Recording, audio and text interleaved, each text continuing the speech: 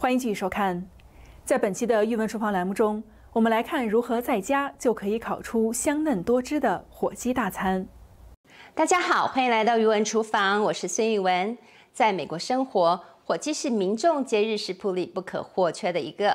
不过，不少朋友说火鸡肉很柴又不好吃，如何能够烤出鲜嫩多汁又不干柴的火鸡呢？我今天啊，就来介绍一种方法。这是一道中式烤火鸡，烤出来的火鸡比鸡肉还嫩，而且步骤很简单。我每年都做给朋友和家人，受到大家的喜爱。我们下面就开始吧。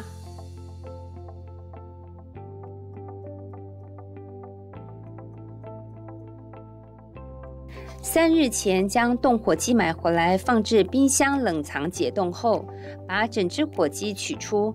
将火鸡外皮和肚内充分洗净，取出肝脏包和脖子备用，除去肚内的碎冰。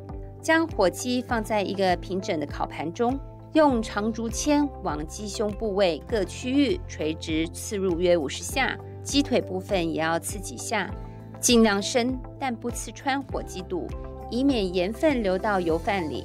在火鸡上抹点料酒消菌，搓揉，包括肚内。将大量的盐非少许抹到火鸡身上底部和肚子内，充分涂抹。火鸡胸较厚，所以要保证盐分充足，让盐在涂抹过程中融化。用保鲜膜把整只火鸡和盘子包好，放入冰箱冷藏的平面上。如果是十二磅左右的，要腌制二十四小时；如果是二十磅左右的，要腌制三十六小时。在烤火鸡当天，提早从冰箱取出，在室内回温三到五小时，让火鸡内外温度一致。火鸡肚内的八宝油饭的做法：提早一天将一到一点五磅的圆糯米泡好。八宝可以任何是您喜欢的食材，可以用香肠、腊肉、大虾米、红萝卜、马铃薯、芹菜、四季豆、香菇、栗子、玉米等等。这时要把附的火鸡内脏包内的鸡肝、鸡胗和鸡心也要切成丝。起油锅，放入虾米拌炒，爆香，将鸡肝、鸡胗、鸡心倒入翻炒，直至变色。倒入香菇炒，将洋葱、芹菜、玉米、胡萝卜、青豆等各种蔬菜丁放入翻炒，将糯米沥干放入翻炒。炒到有些干的时候。加入一些泡香菇的水，继续翻炒。加入一勺盐和酱油，翻炒。加入泡虾米的水，继续翻炒，直到糯米八成熟即可关火。让我们回到火鸡的部分，用大量的清水冲洗火鸡表面、鸡翅和鸡腿部分，肚子内也要冲洗，充分的将盐分洗掉、沥干。用厨房纸巾将表面和肚内擦干，肚子不可以有积水。重新加上些许盐，涂满整只鸡和肚子。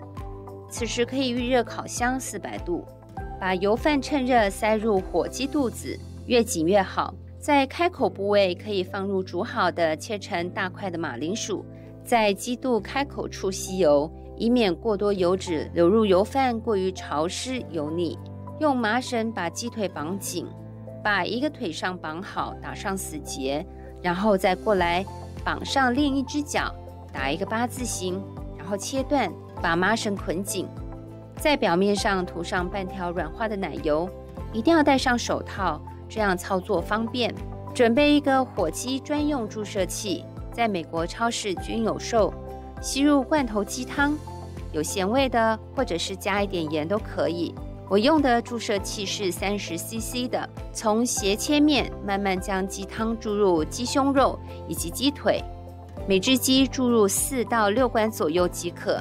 注意要斜入注射，将鸡汤保持在鸡肉纹理内。这一个步骤是鲜嫩多汁的关键，不可以省略。